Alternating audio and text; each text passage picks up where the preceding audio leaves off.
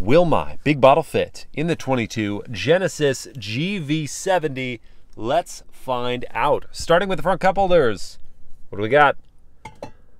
Not a spot. Wireless smartphone charging in there. Center console. Mmm, maybe at an angle.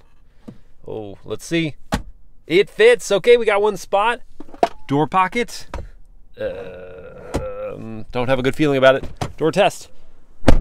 Ejected. So we got one spot in the front of the GV70. Let's go to the back. Second row, here we go. Behind the front seat is a mesh pocket where you can cram it in. Okay, that's one spot. Armrest comes down with two cup holders.